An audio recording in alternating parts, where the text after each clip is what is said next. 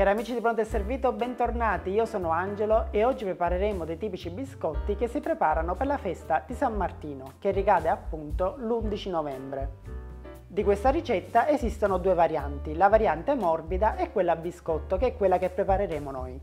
Per realizzare la variante morbida basterà cuocere i biscotti una sola volta. Ma adesso allacciate il grembiuli che iniziamo!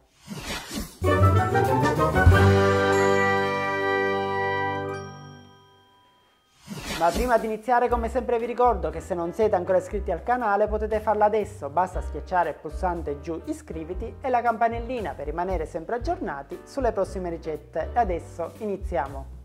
In una planetaria iniziamo ad inserire 500 g di farina 00 insieme a 125 g di zucchero.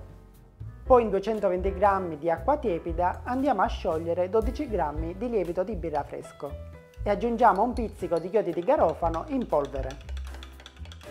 Avviamo la planetaria e aggiungiamo l'acqua a poco a poco.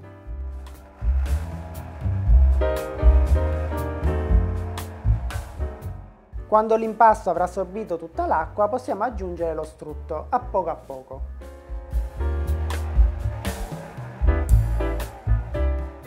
Quando anche lo strutto si sarà incorporato all'impasto possiamo aggiungere il sale e i semi di finocchio e portiamo a termine l'impasto.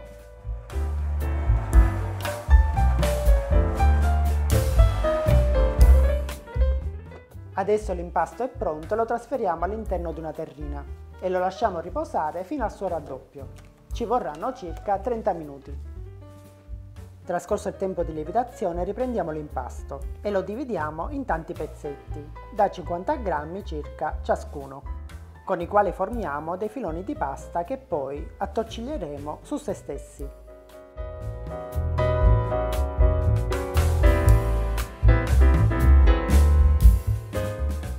In questo modo.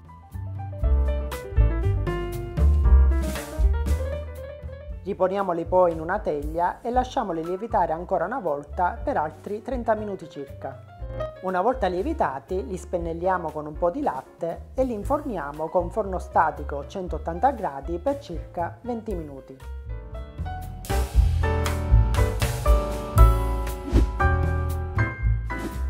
Poi li sforniamo e li lasciamo intiepidire un po' e a questo punto li inseriamo nuovamente nel forno ma questa volta a 150 gradi per circa 30 minuti. I tempi di cottura potranno variare in base ai forni e in base anche alla dimensione che darete ai vostri biscotti. Quindi guardateli spesso, si devono dorare e non si devono scurire troppo. E adesso i biscotti di San Martino sono pronti per essere gustati. Pronto? È servito!